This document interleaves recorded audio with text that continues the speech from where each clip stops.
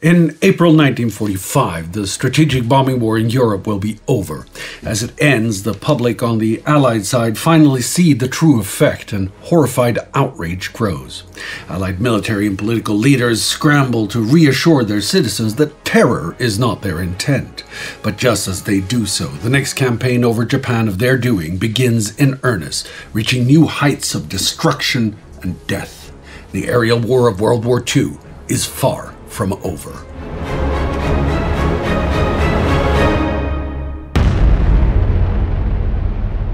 This is episode 130 of War Against Humanity, a series of World War II in real time.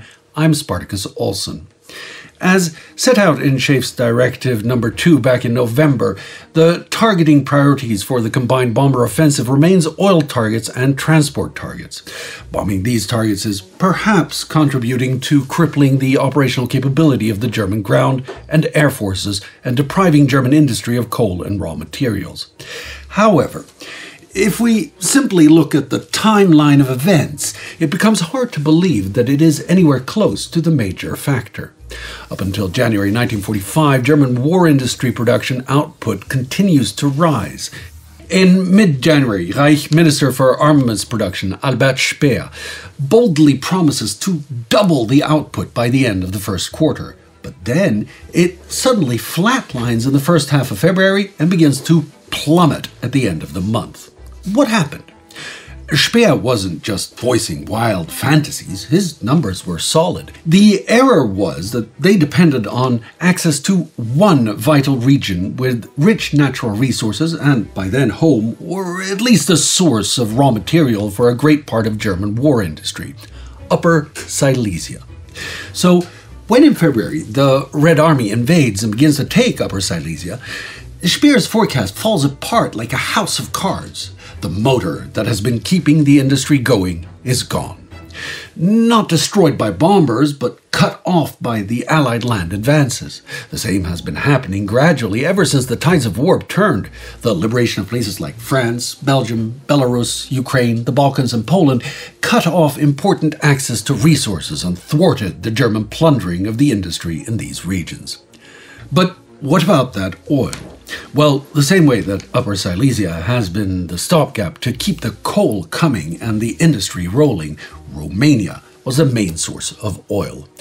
Here, it is the fall of the Romanian oil fields to the Red Army in August 1944 that turns the flow of fuel so badly needed by the German war machine into a drip feed the RAF and USAAF do contribute during the rest of 1944 by disrupting transportation, destroying synthetic oil plants, and blowing away oil reserves. And although not the major factor, it is a contributing factor that stems from the November orders head of RAF Bomber Command, Arthur Harris, has reluctantly agreed to follow these orders, but he still devotes as much of Bomber Command's weight as he can to attacking German cities. Harris justifies these city attacks because of frequent poor weather preventing attacks on oil and transport targets and the inevitable presence of those targets in and around German cities. In February, new cities attacked by the RAF include Hanau on January 6, which killed 90, Wiesbaden on February 2nd, 1,000 killed, and Worms February 21st with 239 killed. Chemnitz and Potsdam are also attacked, but reliable figures for deaths are hard to find. Observably, both suffer significant destruction to their built up areas, though. Meanwhile, the USAAF 8th Army under Carl Spaatz have also joined the attacks on German cities, mainly Berlin.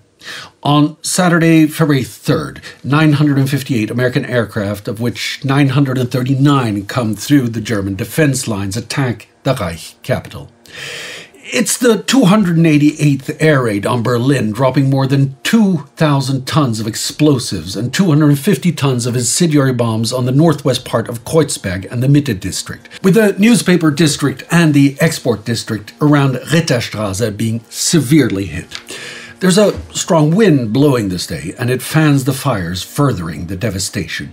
The Wehrmacht reports 2,894 deaths, but the actual number is much greater, with British and American estimates as high as 25,000 mortal civilian casualties.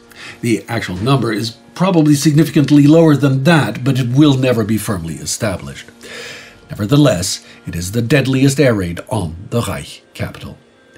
Among the dead are People's Court Judge Roland Freisler, the man who presided over the kangaroo courts that condemned many of the suspects of the rising against Hitler in the July 20th bomb plot the year before. Among the 2,600 people he has condemned to death in his career, often while screaming Nazi propaganda and insults at the defendants, were also members of the White Rose Resistance Group, Hans and Sophie Scholl and Christoph Probst. While Freisler's death at the business end of an Allied bomb may be hard to deplore, a large portion of the victims were also Allied POW and forced laborers, generally denied the use of air raid shelters by the Nazis. More than 20,000 people are injured, another 120,000 made homeless. 2,296 buildings totally destroyed, 909 severely, and 3,606 slightly damaged. The attack also has effect on the war effort, with 360 armaments companies eliminated and 170 impaired. It disrupts logistics by obliterating the tracks at the Potsdamer and Anhalter railway stations. Furthermore, it destroys several cultural sites like the Berlin Palace and the State Opera Unter den Linden. Now, this mission is part of the remnants of a plan to completely destroy Berlin with such massive amounts of conventional bombs that they would have a similar effect as an atomic bomb. The idea is, again, that this will break the German spirit to resist in one fell swoop and force the immediate capitulation. The plan, devised in mid 1944 and codenamed Operation Thunderclap, was based on the idea of how the German bombing of Rotterdam in 1940 sped up Dutch capitulation and operationally modeled on the firebombing of Hamburg in 1943, which killed an estimated 37,000, mainly in the ensuing firestorm. With Thunderclap, Uh, a joint US AAF RAF task force proposed that 2,000 8th Air Force bombers would drop 5,000 tons of bombs on a two and a half square mile area of central Berlin in a daylight raid. The target area would have an estimated daytime population of 375,000. With a bomb density of close to 2,000 tons per square mile, they estimated 137,500 dead and 137,500 seriously injured. If the initial raid wouldn't do the trick, the 15th Air Force, who could add a raid by their forces, and RAF Bomber Command could also fly a follow up nighttime incendiary raid if needed.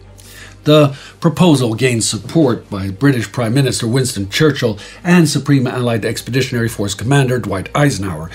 But when it reaches head of the USAAF, Henry Hap Arnold, he objects strongly, citing the probability of adverse public reactions at home.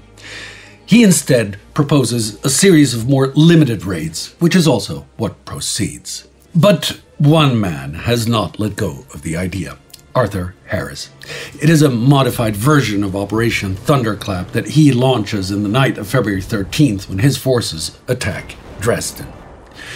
The background is that Dresden has long been on the list of permissible targets based on its status as a major rail hub. Destroying this and similar rail hubs in the east is considered necessary for several interlinked reasons. One, impeding the movement of German reinforcements to the Eastern Front, where the Western Allies erroneously believe that German resistance is stiffer than it is and Soviet capabilities lesser than they are.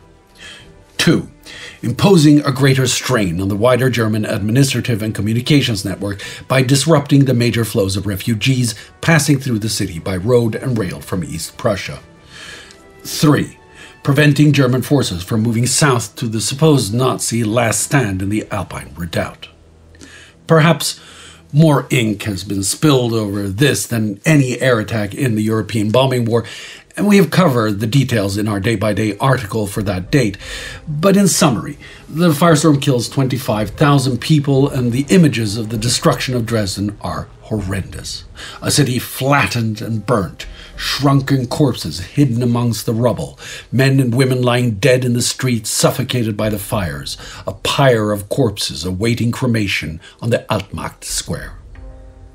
And now, Hap Arnold's prediction comes true when Dresden provokes an immediate negative backlash.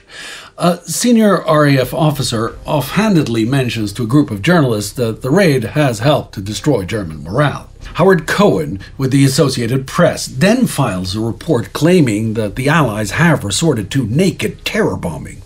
This flies through the Allied press, particularly in America, and Hap Arnold is forced to reassure the public that the Americans are not complicit in terror bombing. The debate is further inflamed when Reichspropaganda Josef Goebbels informs neutral press services that the death toll in Dresden is 250,000, which it is not. The public backlash eventually forces Churchill to send a note to Harris' boss, Air Chief Marshal Charles Portal, on March 28th, urging against what he calls mere acts of terror and wanton destruction. But until then, area bombing continues. Shortly after Dresden comes an attack on Pforzheim. Relatively forgotten in the historical record, this proves to be even deadlier in proportional terms. The RAF attacks on the evening of February 23rd, shortly before 8 p.m., with a force of 367 Lancasters. The Pathfinder Mosquitoes do their job well, marking the city for the Lancasters. With little to no Luftwaffe interception, the Lancasters are able to drop down to just 8,000 feet, further improving accuracy. In just over 20 minutes, they drop over 1,800 tons of bombs, which fall mainly on the center of the old city with its maze of narrow streets and alleys. Such a cityscape is a prime location for a firestorm, and the individual blazes quickly merge into a hurricane of fire which burns at up to 1,600 degrees and covers an area of about 1.5 square miles. Smoke rises to 12,000 feet in the air. Families sheltering in the cellars of their apartment buildings burn to death or suffocate as the flames consume the oxygen. Others are crushed when gutted homes collapse on top of their cellars. Art student Gisela Baer has a narrow escape from this fate. The beams gave way like matches. I saw fire flowing into our cellar, and father, uncannily illuminated by the glow of fire, standing against the wall with arms outstretched as if he was crucified. Our house had been blasted away. In front of us, the street above us, the sky around us, fire. Delayed action bombs went off everywhere. We had to get out. The three of us made it to the nearby railway. The only thing that saved us was our house being blasted away. Nobody survived the inferno in the houses next door. Those who are caught in the open die in the waves of fire which roar through the streets. Many of the exhausted and wounded people who find some brief refuge in the waters of the river Enz end up passing out and drowning. In a grim irony, some of those who escape the inferno later succumb to hypothermia on what is otherwise a cold February night. In all, more than 17,000 people are killed, about 30% of the city's population. It's the third deadliest Allied bombing of Germany after Dresden and Hamburg.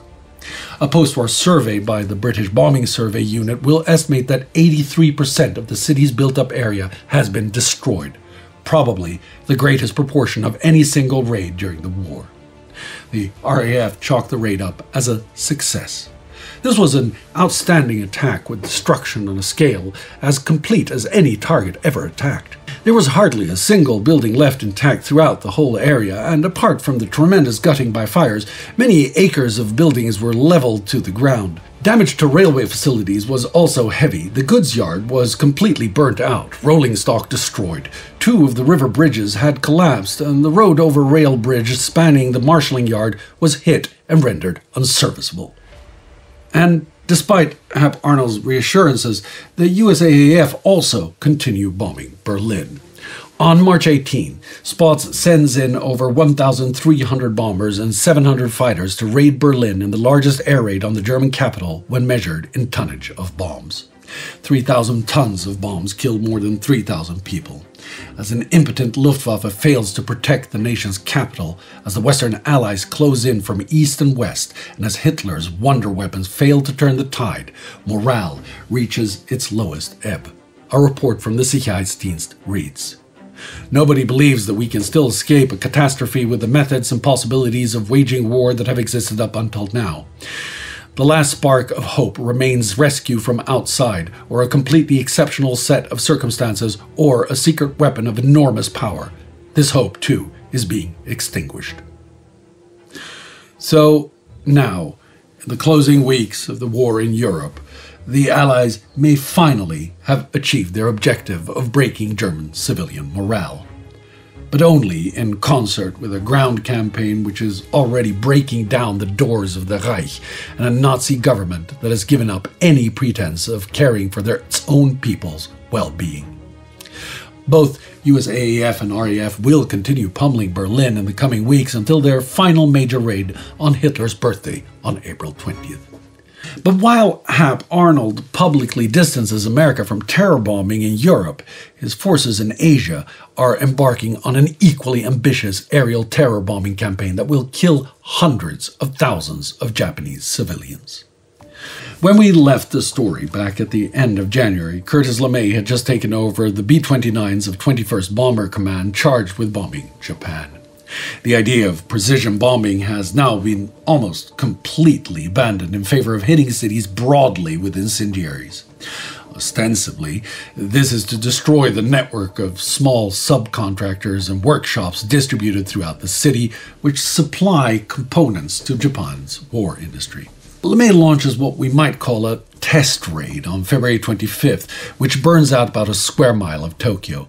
Buoyed by this success and frustrated by an ineffective precision bombing raid on March 4th, LeMay orders his crews to prepare for a mission unlike anything they've ever done before. On March 9th, he orders Operation Meeting House.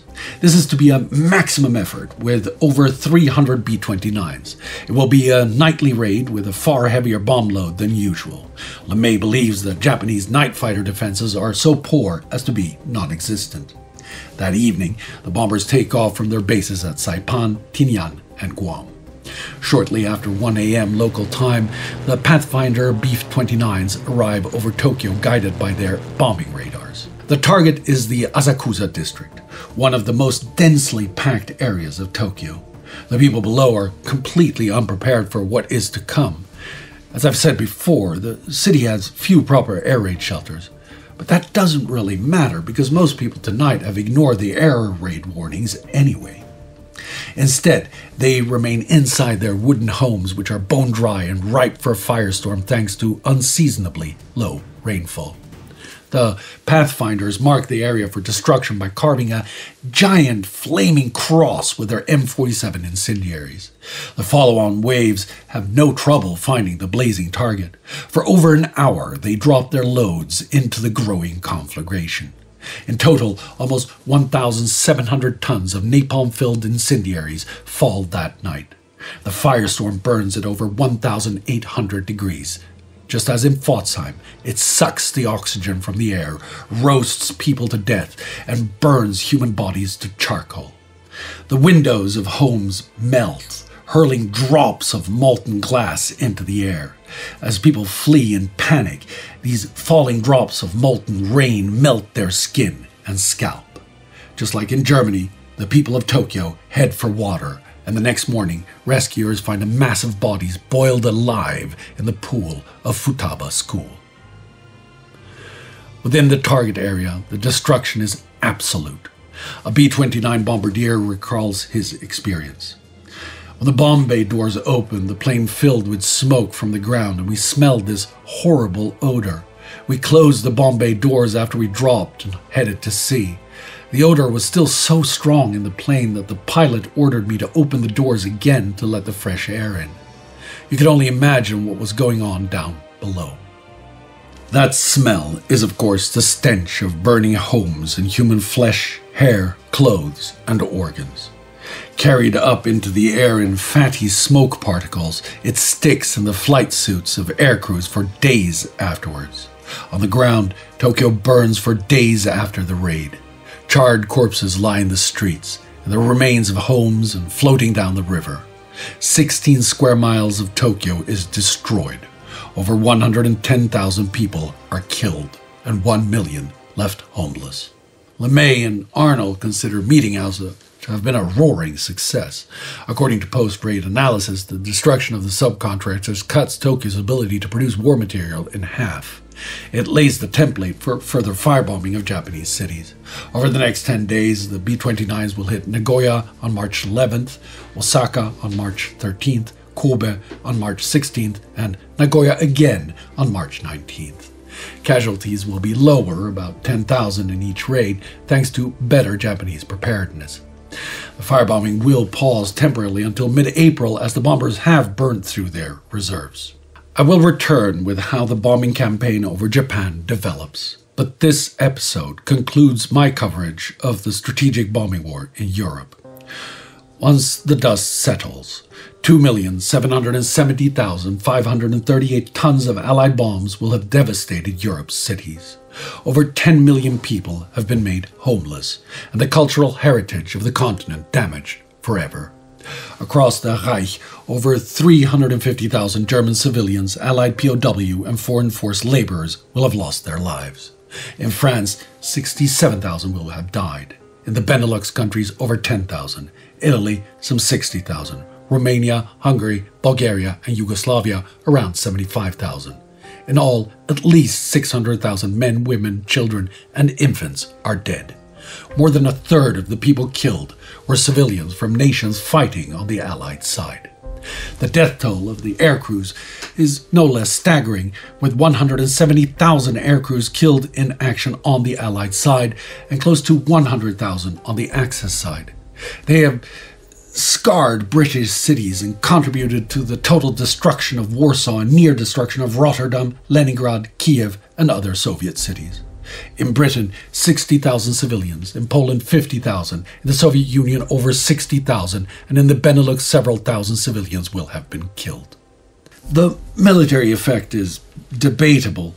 According to some analysis, it benefited the Allied war effort somewhat, but no one has been able to show a decisive advantage. On all sides, being bombed or seeing your fellow countrymen bombed hardened the will to resist the enemy, arguably prolonging, not shortening, the war. Neither the Axis nor the Allied campaign came anywhere close to achieving their goals of breaking or at least hobbling the enemy for a swift victory.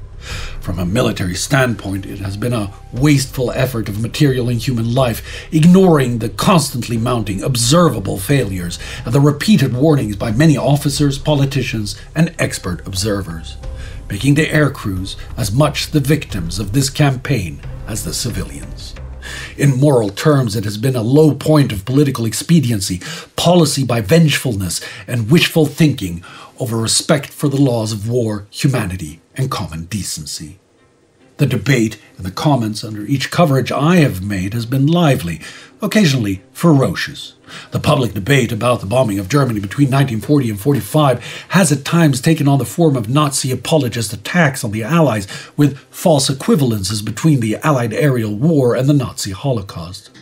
On the other end, any critical analysis of the observable horror and failure of these campaigns has been shouted down as anti patriotic or disrespectful of the fighting men's sacrifice. There is no equivalence to the Nazi genocide, not only because of the staggering difference in magnitude, but also because of the difference in intent. Critically analyzing the obvious failure of this campaign is a patriotic duty and respectful of the sacrifice forced upon the men who had to carry it out. To use these events to somehow justify even more atrocious events is an insult both to the involved and humanity as a whole. If we do not learn from the sacrifice and death, both in the air and on the ground, all these human beings will have died for nothing. The ultimate respect we can pay them is not just to remember and blindly celebrate them, but to hold them high and let them teach us that war is not only hell, but also a wasteful horror that, when forced upon us, requires us to rise above our basest instincts. For as the often misquoted lines by Nietzsche warn us, he who fights with monsters might take care lest he thereby becomes a monster. And if you gaze for a long time into an abyss, the abyss gazes also into you. Never forget.